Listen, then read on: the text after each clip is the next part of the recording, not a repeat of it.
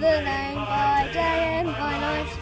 Lift that noble banner high, shake down the thunder from the sky. Whether the odds be great or small, Swans will come in and win over all. While our loyal sons are marching onwards to victory.